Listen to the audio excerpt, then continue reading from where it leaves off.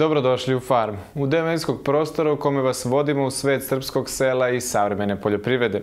Naše ekipe su prethodnih nedelja krstarile Srbijom i u ovom 915. izdanju vam donose odgovore na sledeća pitanja. Na koji način je uzgoj lekovitog bilja revitalizovao sela na istoku Srbije? Sa kakvim izazovima se suočavaju domaći ratari – zbog čega je jedan sportski novinar iz Beograda započeo farmski život u okolini Pančeva. Kolike su štete usled loših vremenskih uslova pretrpeli proizvođači trešnje u Gročanskom kraju? Zašto u poljoprivrednoj emisiji govorimo o jednom od najvećih svetskih naučnika, Mihajlu Pupinu?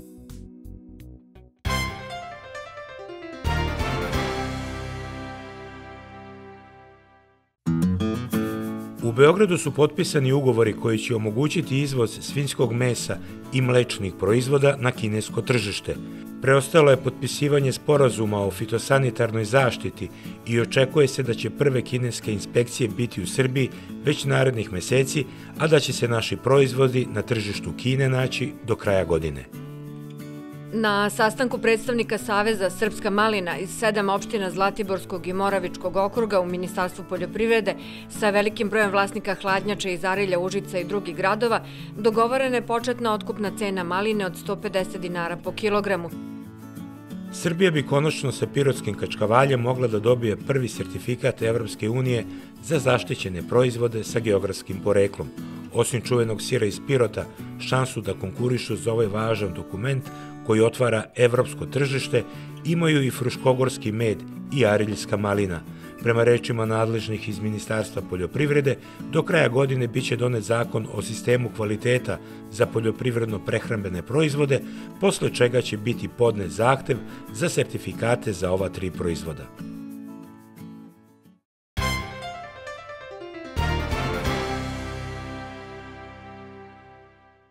Sport i kozarstvo, rekli bi, ne idu zajedno.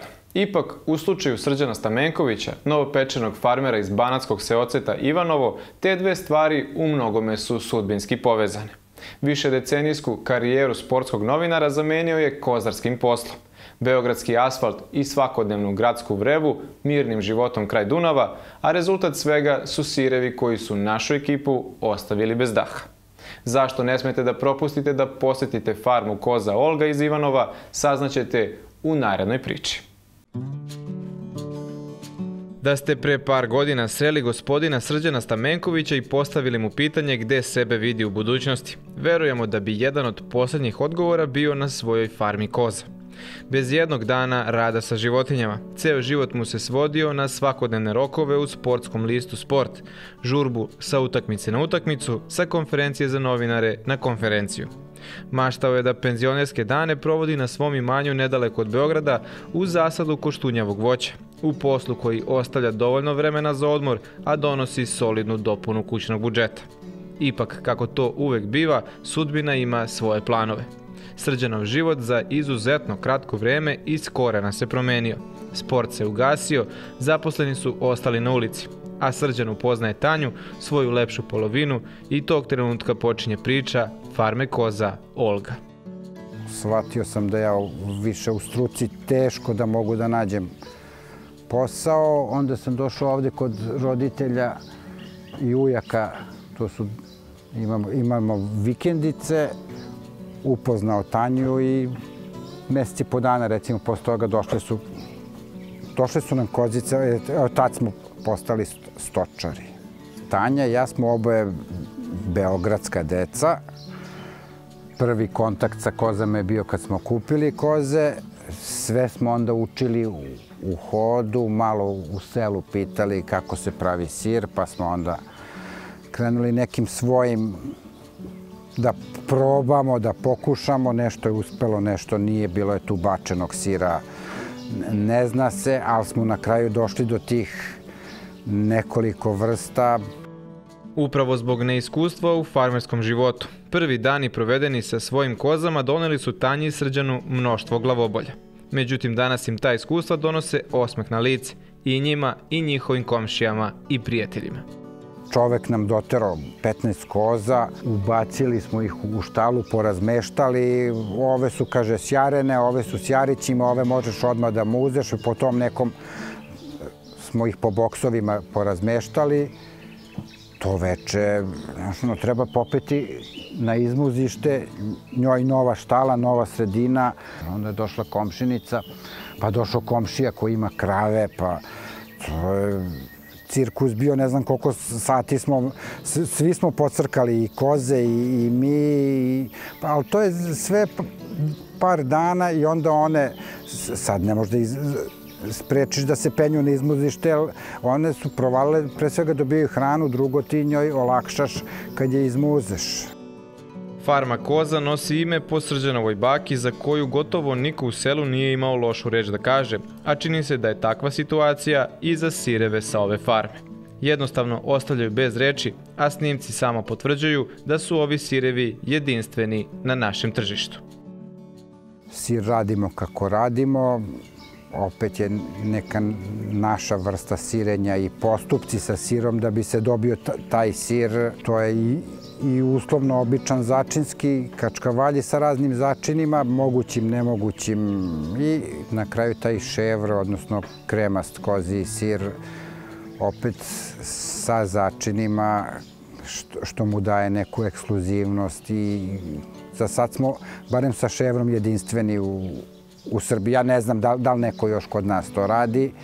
Ne radimo na klasičan francuski način, nemamo ni, ni startere, ni, ni aditive, nego smo nekim svojim putem došli da to liči. Gotovo svaki dan donosi novo eksperimentisanje na farmi, pa se svakodnevno rađaju nove ideje i novi ukusi. Ipak po jednom se ova farma izdvaja, ona recepte traži i od svojih mušterija. Šta god padne na pamet mi možemo da napravimo. Mi to možemo da napravimo bez problema. E sad, uvek je ja moram da budem zadovoljan, odnosno mi da budemo zadovoljni sa, sa proizvodom. Masa naših mušterija su već stalne i donose nam nove. Cilj je da ostanemo na tom nivou, da možemo da imamo potpunu kontrolu i nad sirom e, i nad e, kozama. Možda je Srđan još uvek na početku svoje kozarske karijere. Ipak ovaj posao mu je toliko ušao pod kožu da već ima želju da se oproba i kao genetičar. Jednostavno njegov moto je bolje imati veći kvalitet nego kvantitet, a ovaj novopečeni seljak, kako Srđan sam sebi tepa, ima ideju kako da dođe upravo do kvalitetnijeg mleka. Ja imam neku svoju ideju da mi napravimo našu rasu mlečnih koza. Ja sam ubacio već burskog jačića, Sledeće, pojavile su se nubijske koze, ja već imam u planu za sledeću godinu nubisku da ubacimo. Računam da im je masnije mleko nego alpini, izgubit ću na količini, dobit ću na, na mastima. Ovaj tandem je i jedini zaposlen na farmi, a poslovi su striktno podeljeni. Tanja je zadužena da razmazi kozice i za igru, a Srđan je zadužen za teške fizičke poslove, međutim čini se da mu sve to ne pada teško. U šali nam ovaj farmer govori da mu jedini problem predstavlja farmski podmladak, pun energije kada preskoči ogradu ili se izmigolji i krene u avanturu po bašti, a tad po pravilu strada cveće i posađeno voće. Svaka koza ima neki svoj karakter. Mi imamo jako pitomu kozu i imamo blizance gde ova jarica njena ne prilazi nikom i ne, možeš, ne možeš da je uhvatiš, ne možeš joj ništa. A majka je pitoma, Neke su lude, neke su mile, neke vole da se maze, druge ne vole da se maze, ali su naše.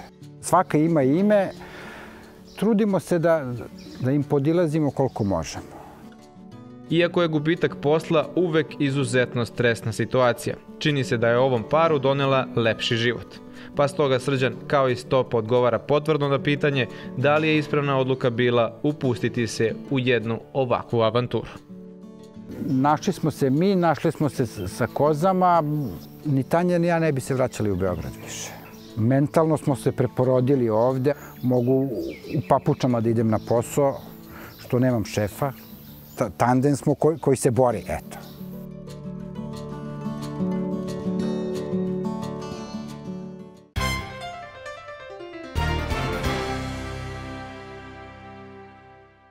Za proizvođače žitarica, pre svega pšenica i ječma, muka zvana sezona 2018-2019 privodi se kraju. Problemi nisu ni sada prošli, ali jednostavno žetva ječma je počela u nekim područjima u drugoj polovini juna, a pšenice desetak dana kasnije. Ratarima se ulaganja ove godine neće isplatiti, jer osim cene koja je u vreme zaključenja ovog teksta nepoznata, prinosi su znatno umanjeni, a procene su da će to biti između 20 i 30 odsto u odnosu na višegodišnji prosek. Džaba dobra priprema zemljište, uključujući prethodno đubrenje kada se na jesen pšenica nije mogla posijati zbog suše koja je carovala i pre, ali i daleko posle optimalnog agrotehničkog roka za setvu. Kišu koja je ponegde pala u minimalnim količinama ratari su koristili za brzopoteznu setvu, a oni koji su sejali u suvu zemlju nadali su se da će ta vlaga pokrenuti klijanje semena. Sve u svemu pšenica je pred zimu izgledala jako loše i nade su polagane u veću vlagu tokom zime i bolje uslove na proleće. Bila suša jaka, znate, i onda smo pađe posjeli smo kako smo, pa nikako da nikne. E, onda je proletas to niklo, ali je bila mala, bedna, jadna, ne. Ona je jako dugo stojala mala i već je počela da pušta onaj list, ali je posle pala kiša i ajde, krenula je, urastila je. Međutim, sad kad je počela da naliva, ima vlage, ali se pojavila sad ova bolest. A tu nema prskanja, nema zaštite nikakve. To, šta ja znam, koliko ćemo, šta je to ti, evo i sad vidite, gledajte šta je. Vidite ovo. One isi su, isi su ovaj, zrno, znate. I to bude učmano, nema tu ništa. Vidite šta je to bugo. U pitanju je žitni pivac koji je već napravio štetu. Sada kada je zrno naliveno i već u fazi otpuštanja vlage, stručnjaci kažu da zaštita više nije neophodna, tim pre što se usev inače ne sme tretirati pred žetvu. Naš sagovornik je osim dve prihrane krajem zime obavio i zaštitu od leme, ali i fuzarijuma koji se pojavio s prvim upornim kišama tokom proleća. Šta je uradio, uradio je. Sada zbira dalje troškove i potencijalni prinos. Ima tu sto stavki, treba to spremiti, prvo kombajn treba da se spremi, treba nafta da se spremi. Sve to ima sa sto stavke koje koštaju, a vidit ćemo kako će biti, koliko će biti. Ja se nadam bar tri tone po jutru. Tu 4,5 do 5 tona po hektaru trebalo bi da bude. Prošle godine je bilo dobro. Ali sad ove godine vidit ćemo, ovo prošle godine ovo nije bilo, ovo bolest.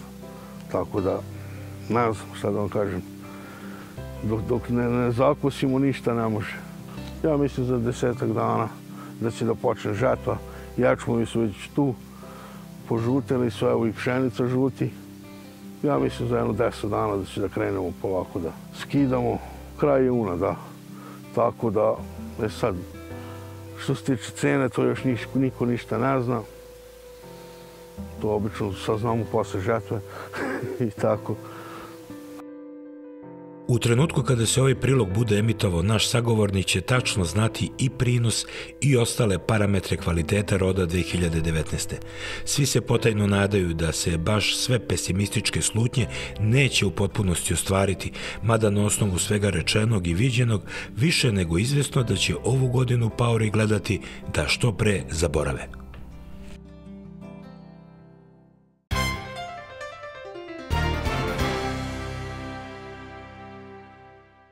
Ostajemo u istoj tematici i u narednoj reportaži, ali selimo se u istočnu Srbiju kako bi saznali kakva je situacija na terenu te šta tamošnji ratari očekuju od ove sezone.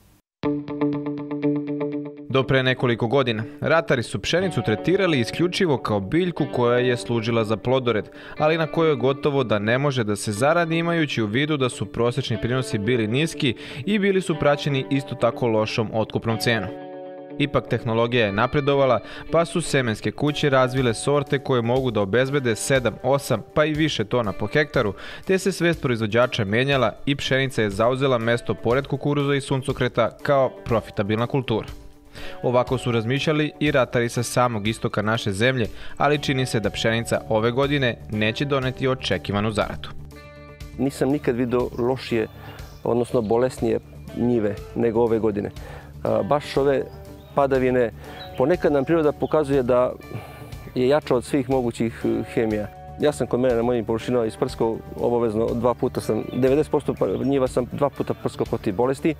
Prvi tretman protiv bolesti kad sam prskao protiv korova, drugi tretman je bilo u klasanju. Međutim, ima parcele gde smo zakasnili jer je veoma bitan i trenutak ovaj, korišćenja uh, tretmana i ono gde sam zakasnio zahvatjeno je, tako da kao što se ovde vidi malo je tu zahvaćeno, ali mora se ozbiljno da, da se bavimo ovim, ovom problematikom jer, jer džabe radimo, velika su ulaganja i ako ga sad ovaj, ispustimo iz ruke, znači ovde nam i prinos, ovde nam i profit, ovde nam sve. Situacija je bila jako loša od same sete. Prvo je bilo bez padavina u toku pripreme, pa samo nicanje je bilo loše. Totalno, znači kasno je nekla pšenica kao generalno u celoj zemlji. Posle toga, ajde, bilo je dosta padavina, pa se pšenica nekako izvukla. U pšenici smo prvo se razočarali totalno, mislili smo da neće biti ništa. Pa onda one kiše kada su ipak došle, pa kada je isklasala, onda smo se malo obradovali da će ipak biti neki prinos od 4 tone. E, sada sa razvojem bolesti, sa ovom što se desilo, mislim da ćemo biti zadovoljni sa svaki prinos iznad 3 tone ćemo biti zadovoljni. Što je nažalost u pola u odnosu na prosek za normalne godine. Sa kukuruzom je takođe bilo dosta poteškoća. Velike količine padavina uslovile su da ratari tokom proleća gotovo da nemaju dana odmora. Glavni izazov je bio što su počele da padaju kiše. Prvo je bilo sušno, posle padale kiše. Kiše koje su padale e, e, ovaj, nekoliko dana i tu sa pljuskovima i ovaj, e, brzo je počeo da se suši, jer ovde kod nas vetar jedan i dobro sunce odmah to osuši brzo i stvarala se pokolica. Pa je onda bio problem što je zrno koje je proklijalo nije mogo da izbije. Druga kiša koja je padala nakon nekoliko dana omogućilo je deo ovaj, tih klica da, ovaj, što je proklijalo da izniče. Međutim, dobar deo je ostao veći istrule u zemljištu. To je prvi izazov. E, drugo je bilo kada smo poseli, kada je bilo, i bilo je vlage u zemljištu, e, i ovaj, e, mi smo posejali, idealni su bili uslovi i nismo stigli da isprskamo jer je brzo izniklo. Za 5-6 dana je bilo nicanje, to je neverovatno. Ovaj, e, pa nam to nije dozvolilo da prskamo na crno. Treće, korovi. Počeli su korovi da se pojavljuju. E, uništi se ovolika padavine, nađubreno je e, korektno, agrotehnika se ovde kod nas radi veoma korektno i onda kad ima dovoljno đubriva, normalno pored uslova i korovi veoma dobro znaju da iskoriste to đubrivo. 40 km dalje, u Negotinskom kraju, sasvim drugačija situacija. Tamošnji ratari, za razliku od kladovskih, nisu osetili mnogo problema sa prolećnim kulturama. A što se tiče suncokata i kukuruza, oni su sad baš u ono, što bi se reklo, u top stanju. Što se tiče i porasta i toga, znači svako ko je poseao na vreme ima lepe useve suncokata i kukuruza. Znači tu nema greške, bilo je dosta padavina i onda je sve to bilo i nicanje kako treba, ujednačeno i sve, što je bitno za prinos, naravno. Sad je sunčano vreme i godinu, pošto je bilo toliko padavina i bilo je oblačno i hladno, znači sunce treba i kukuruzu i suncokretu. Ulaganja su velika, zato ne sme biti igranja, a ovakva izazovna sezona naterala je ovu dvojicu proizvođača da se upuste i u druge poljoprivredne proizvodnje, kako se ne bi uzdali isključivo u ratarstvo. Gospodin Verbunkić je počeo polako da se okreće voćarskoj proizvodnji. Posadio je višnje i orahe, dok je njegov kolega iz Prahova ušao u povrtarstvo. Uskočili smo u malo povrtarstvo čisto ajde, pošto imamo te sisteme za navodnjavanje i sistem navodnjavanja je tu zastupljen u Prahovu sa Marinovcu, tako da ima dosta ljudi koji se bave povrtarstvom. Uvećavali smo površine pod povrtarstvom, tako da smo krenuli od jednog, pa tri, četiri, pet, Sad imamo skoro 6 hektara, 5 i 60, 80 pod e, crnim lukom iz semena. Znači to smo zasijali crnim luk iz semena, to smo radili ove godine. Ratarima za nauk ostaje da prskanja ne treba preskakati i da u dosluhu sa stručnjacima treba da pravovremeno štite svoje useve. Naravno, posljednju reč uvek će imati priroda i njena čud, koja je ove sezone dobrano istrenirala živce proizvođačima.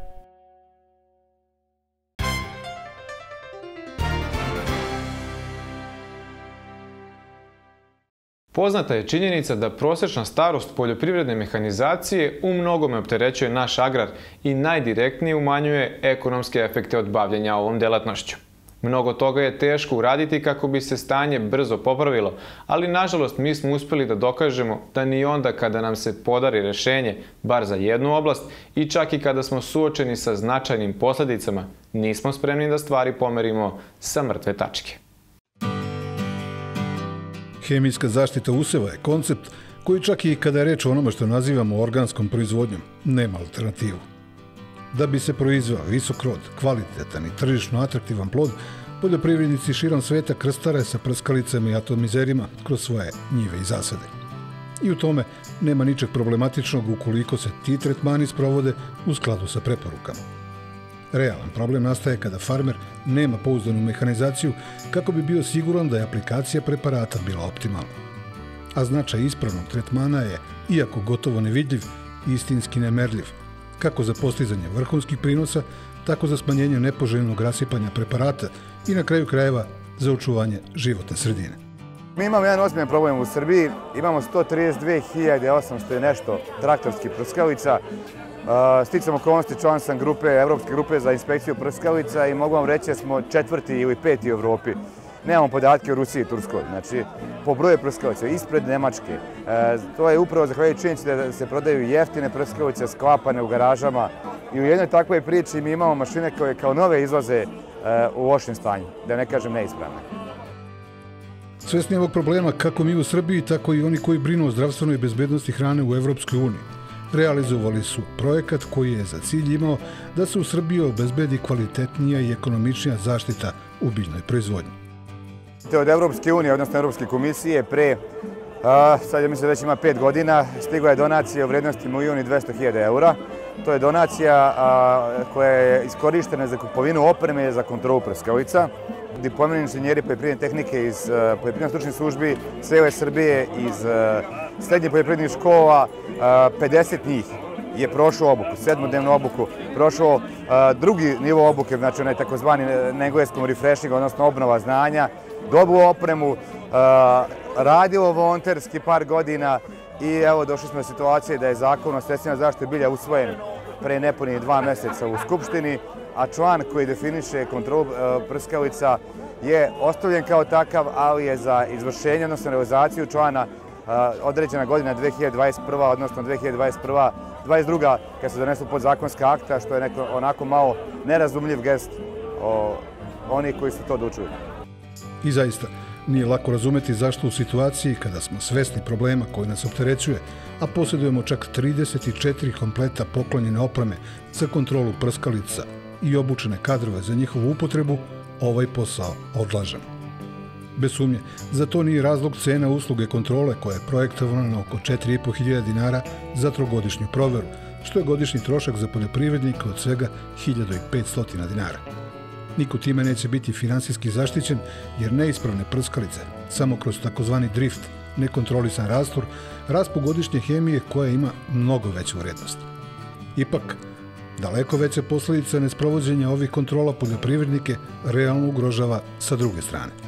Doćemo u situaciju da ne možemo da izvozimo proizvode. Evo sad, ljudi koji su radili u IPARD, IPARD, e, kogod je dobio IPARD, fitosanitarni inspektori su dužni da provere, bez obzira da je kupio traktor ili, ili pravi halu, oni mu proveravaju gazdinstvo i na gazdinstvu traže atest o ispravnosti mašine. Mi već imamo problema i sigurno da, da će da bi jedna kontrola mašina i znači, certifikacija tih mašina, a ta kontrola treba se radi, radila bi se u skladu sa važećim evropskim normativom, sigurno da bi pojačao naše pozicije i ako dođe do nekih problema da bi mogli lakše da branimo naše proizvode, da imamo tu kontrolu. Bilo kako bilo, odlagali mi ovu meru ili ne, ona će nas kata dočekati, jer direktiva Evropske unije o upotrebi pesticida je kamen koji moramo da preskočimo pre nego što zatvorimo poglavlje o poljoprivredi u pregovorima o pristupanju Uniji. Stoga, čak ni stručnjaci koji su uključeni u ceo ovaj posao ne mogu da prepoznaju logiku koja je rukovodila zakonodavca pri donošenju odluke da prolongira posao od koga bi nesumljivu korist imali i proizvođači i država, ali i potrošači, koji bi manje brinuli o tome da li sadržaj njihove korpe ne krije možda i substance koje nisu baš mnogo blagotvorne za ljudski organizam.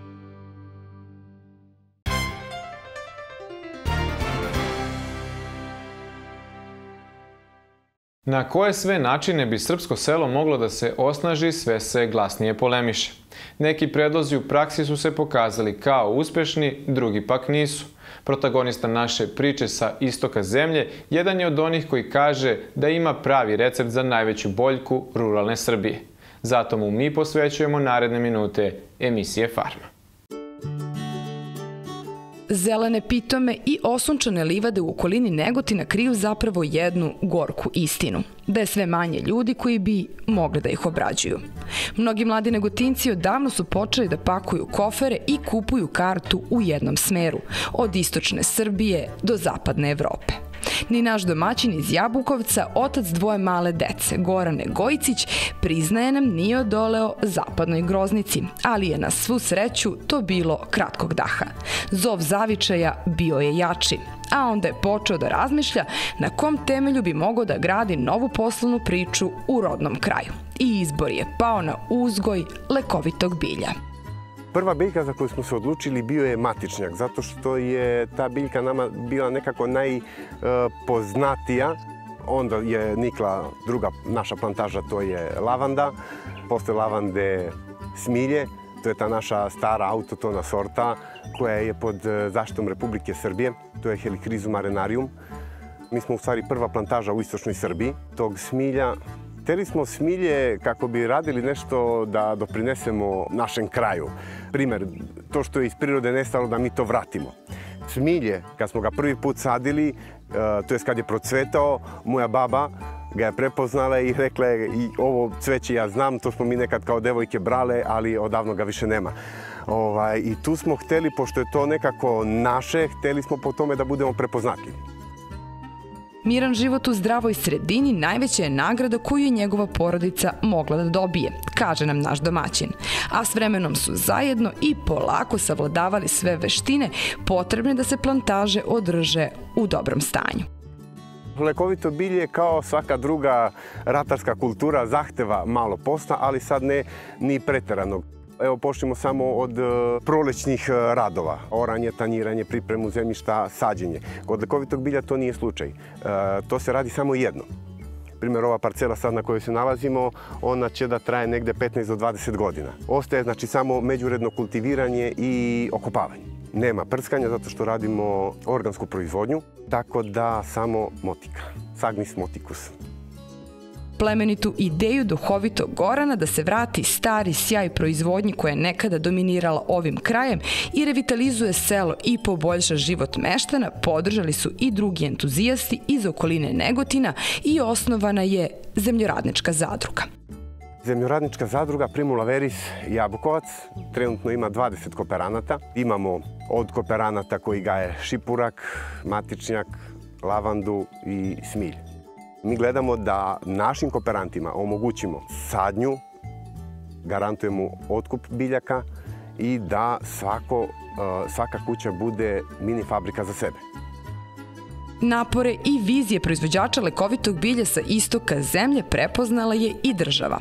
Bespovratna sredstva nedavno su stigla u Jabukovac i omogućila ovoj priči da se dalje razvija.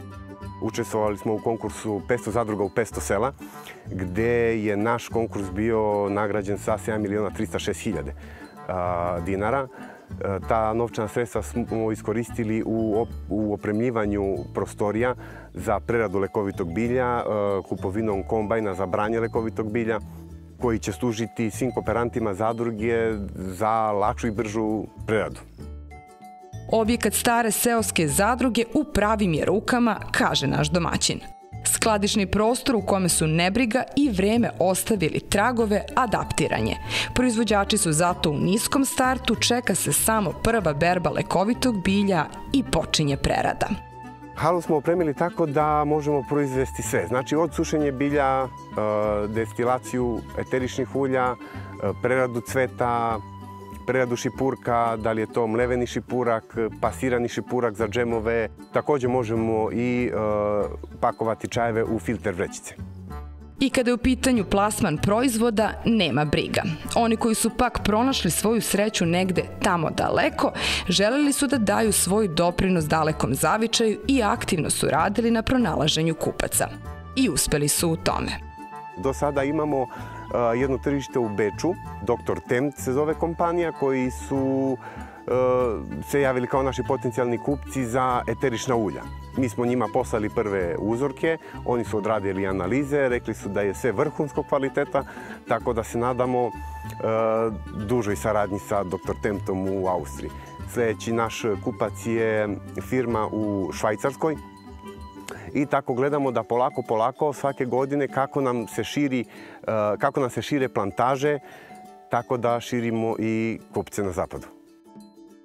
Priča entuzijasta sa istoka zemlje predvođenih našim domaćinom Goranom se ne zaustavlja. Naprotiv, osnaženi dobrim rezultatima nastavljaju da šire plantaže smilja, šipurka i uvode u proizvodnju i lekovito bilje poput mente, vranilove i hajdučke trave sa jasnim ciljem da prirodi vrate ono što joj je oduzeto, a u selima stvore uslove koji će motivisati mlade da ostanu u rodnom kraju, privređuju i pre svega žive zdravo.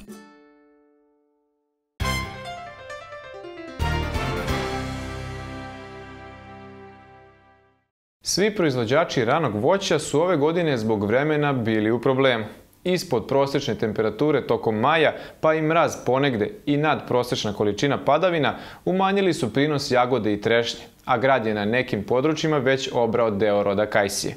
O problemima jagodara već smo govorili u našim emisijama, pa naredni prilog posvećujemo trešnji i problemima sa kojima su se susreli ovog proleća proizvođači te voćne vrste. Najgore su prošli oni proizvođači trešnje koji su se zbog visoke cene na početku sezone bazirali samo na onim ranim sortama. Ubrano je jako malo takve trešnje, plodovi su pucali zbog kiše i vlage, a kvalitet je bio daleko od običajnog zbog nedostatka sunca. Nije skoro se desilo da, da u, u rodu trešanja bude toliko kiše. Jer ta kiša je napravila štetu, ajde što je napravila štetu na ranim sortama, pravila je štetu poslije i na srednjim onim i Boga mi ima malo štete na ovim poznim sortama. One su najmanje zakačene tim kišama. Ima i na njima, ali nije to tako strašno. Sad imamo malo, malo bolje, bolje uslove što se ove kasnije tiče. One rane su baš dosta stradale.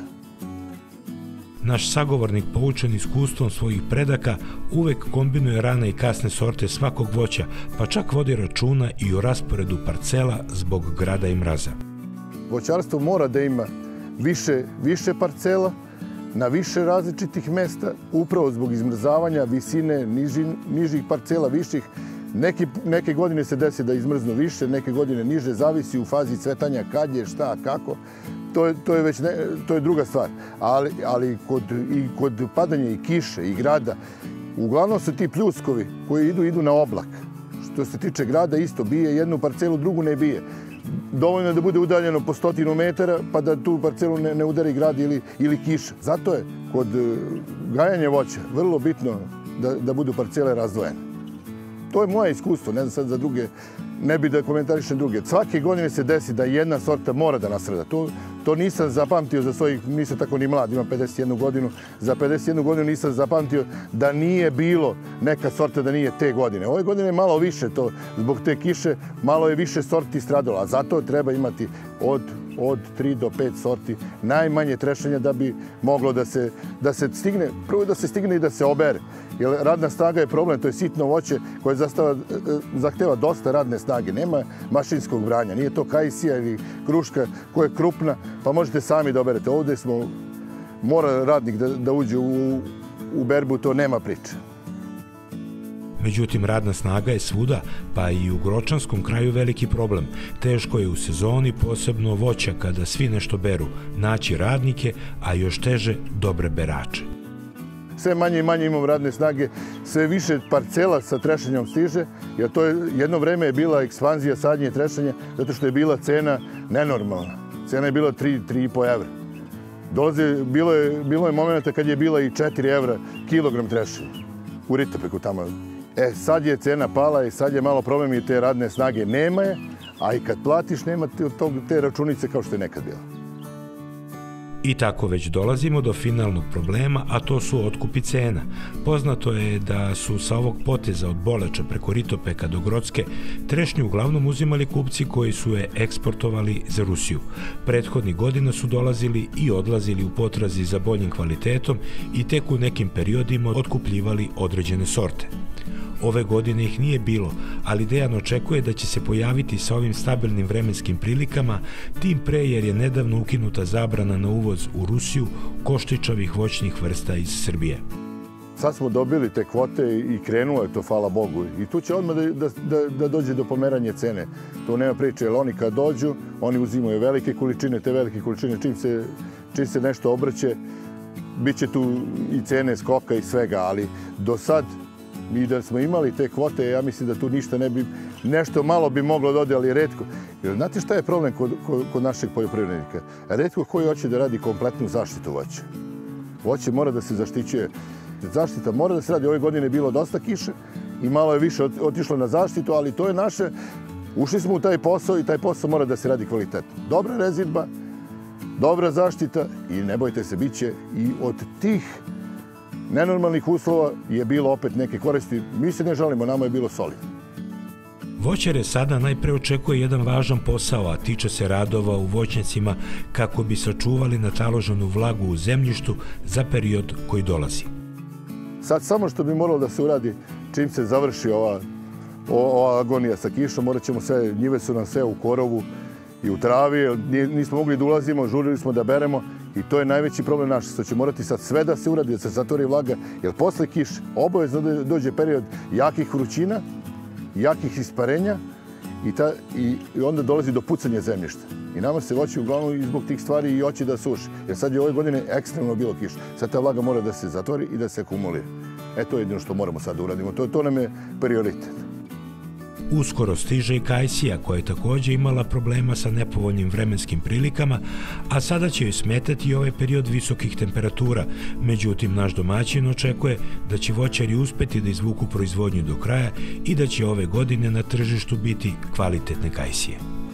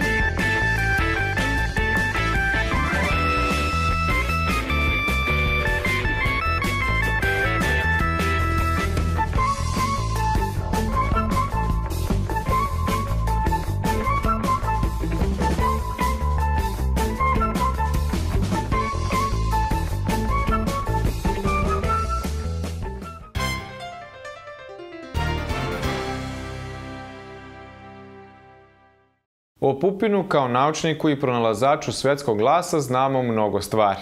O Pupinu kao velikom rodoljubu, čoveku koji je pomagao Srbiji tokom Prvog svetskog rata materijalno, ali i lobirajući u Americi u korist nove države koja se stvarala na Balkanu, saznavali smo tek poslednjih godine. Ali o njegovom zalaganju da se unapredi poljoprivreda, odnosno baštovanstvo, kako je tada nazivana delatnost njegovih seljana iz Idvora, redko je ko znao. Tome posvećujemo naredne minute naše emisije. Naslov autobiografskog dela Mihajla Pupina od pašnjaka do naučenjaka u par reči opisan put našeg velikog naučnika i pronalazača, upravo pašnjak kao polazna tačka puta Pupina do zvezda koje je dosegao, bio je negde u podsvesti ovog pre svega sjajnog čoveka koji Idvor u Banatu gde je rođen i odrastao nikada nije zaboravio kao ni ljude koji su se dominantno bavili poljoprivredom. Nikada nije zaboravio ni mesto gde je rođen, ni odakle je potekao, e, čak šta više isticao je to e, svuda gde se po svetu e, kretao i odakle i šta je i šta je u stvari taj njegov idvor želeo da ceo svet sazna šta je taj idvor i gde je taj idvor. I ono što je on za idvor činio, dakle, 1935. godine, ovaj dom je počet da se pravi sa njegovim novcem. Dakle, on detaljno uz novac koji je slao da bi se napravio ovaj narodni dom, slao i upute kako da se on sazida. E, njegova želja je bila da ovo bude jedan hram znanja i nauke i napravljen je po uzoru na američke koleđe, zato je ova prostorija ovako akustična zbog toga i e, ono što on detaljno u tim svojim uputima piše dalje, da e, ima želju i nameru da se ovdje okupljaju stručnjaci iz celoga sveta iz oblasti agronomije i poljoprivrede da se vrši predavanje, jer e, idvor tih godina je bio 100% poljoprivredni kraj, u stvari narod se bavio isključivo zemljoradnjom, eventualno stočarstvom. Tako on je želeo da poveže, poveže tu priču u njegovo ostvarenje, da ostvari se tu neke modernije zamisli, pa da osim e, stručnjaka koji će dolaziti e, i vršiti predavanje za agronomiju i poljoprivrede, da se ovdje e, sprovede i škola obrada voća i povrća do finalnog proizvoda da bi se to ostvarilo. Jedino što je, nažalost i na štetu, jel, nije ta ideja zaživela jer je on preminuo pre samog otvaranja ovoga doma, a ono što je ostalo u tragu, u pisanom tragu, on taj svoj projekat naziva Baštovanska industrija, gde na 30 strana on to zapisao je u ono vreme, jel skladno onom vremenu, e, kako to da se ostvari.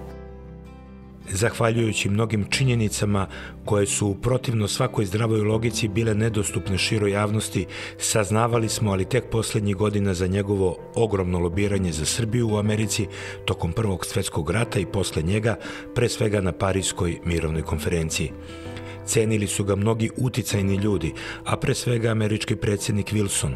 Upravo zato zamisao jednog tako značajnog čoveka za kompletno čovečanstvo da unapredi poljoprivrednu proizvodnju u svom rodnom kraju ni danas nije bez odjeka, pa bi možda ova zadužbina Pupina u Idvoru uskoro mogla da postane zaista ono što je i želeo, amfiteatar gde će mladi poljoprivrednici sticati znanja.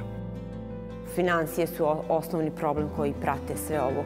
Mi ono što danas radimo, što nešto, ajde, e, nije u tom stilu, ali ono što mi sprovodimo neku nauku, dakle mi ovdje održavamo svake godine letnji kamp za mlade talente. To je ono što smo se okrenuli, prešli smo sa poljoprivrede na nauku, to je bilo izvodljivo u našem e, momentu, tako da e, evo ove godine imamo deveti kamp po redu, e, letnji kamp za mlade talente u organizaciji Regionalnog centra za talente iz Pančeva i koordinator toga projekta je dr. Ragoljub Cucić, tako da je to ono što mi danas ovdje možemo da sprovedemo što je vidljivo i opipljivo, što bi se reklo. A za ovu baštovansku industriju ipak čekamo neke jače ljude, neke umnije ljude koji će da stave prst na čelo i koji će u stvari da pomognu da se u stvari ta Mihajlova zamisao i konačno ostvari. Baštovanska industrija bila je zamisao vizionara i preteča onoga što danas nazivamo za okružen proces proizvodnje, dakle proizvodnja kvalitetne sirovine, pa njena prerada, otuda i pojam industrija, kako proizvođači ne bi prodavali za male pare osnovne plodove, već prerađen i zapakovan proizvod koji bi imao veću cenu, pa bi svima ostajalo više, a kroz preradu i zaposlenost bi bila veća.